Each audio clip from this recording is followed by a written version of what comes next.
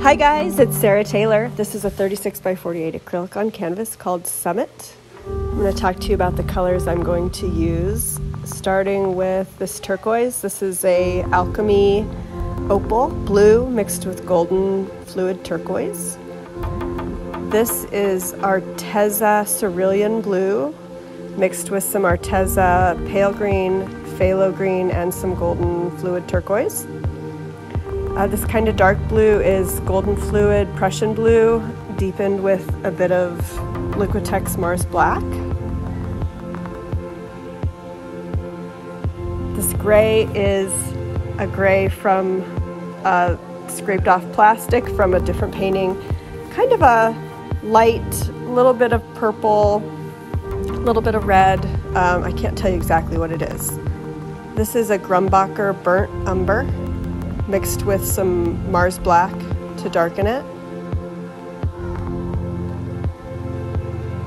And these are all mixed with my pouring medium, which is 70% Floetrol, and in this case it's 30% Liquitex pouring medium. And this is a burnt sienna mixed with some copper. So the burnt sienna is Grumbacher, the copper is Blick, and golden heavy body iridescent copper. Uh, this is an unbleached white paint by Grumbacher.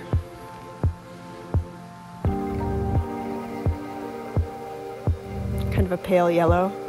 And the gold is Extreme Sheen by DecoArt, 24 karat gold.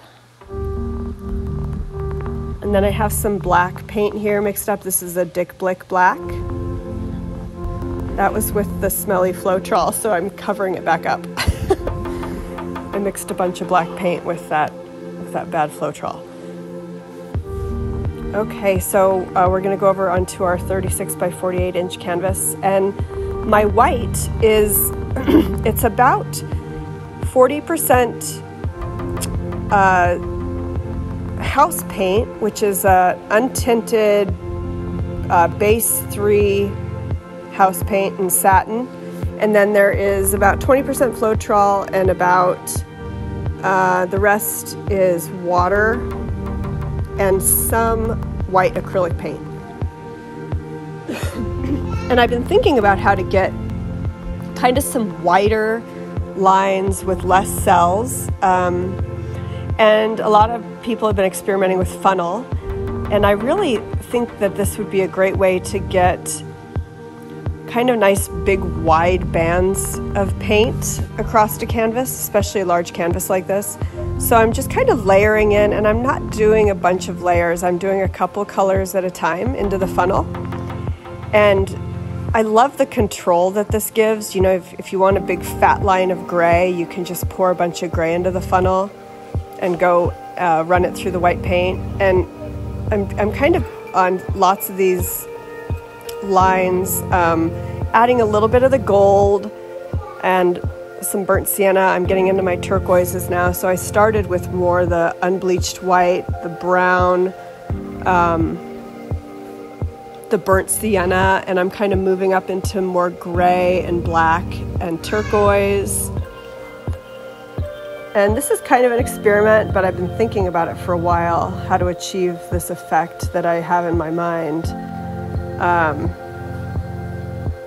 and this, uh, I think, I, I think that this is a, a good way to do it. In retrospect, I probably should have coated the entire canvas with white. I'm kind of a, uh, I'm kind of cheap, I guess. I try to use, uh, you know, less paint when I can, so you don't, you know, waste as much coming off the sides. So uh, you're going to see why when I tilt it, and but this painting has some different stages that it goes through. Um, and I really, really like how it turned out. Uh, I think it's different and, you know, pretty abstract. Uh, I, it has not so much of the cell look, but more kind of the thick lines, thick bands of paint. So I'm just going to tilt it back and forth. And this is where I kind of realized I needed more white paint. And I didn't have as much mixed up as I should have, um, but that's okay, you know. These things can get worked through. Um, so that gray up at the top, you're going to see what I do. I just kind of add some more gray and some more teal. kind of improvising.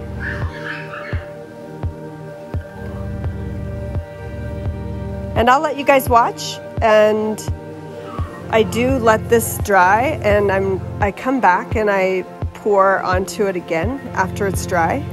So, and you'll see why the the bottom part uh, I work with it quite a bit. Not the part with the gray and the teal, but the other bottom part there.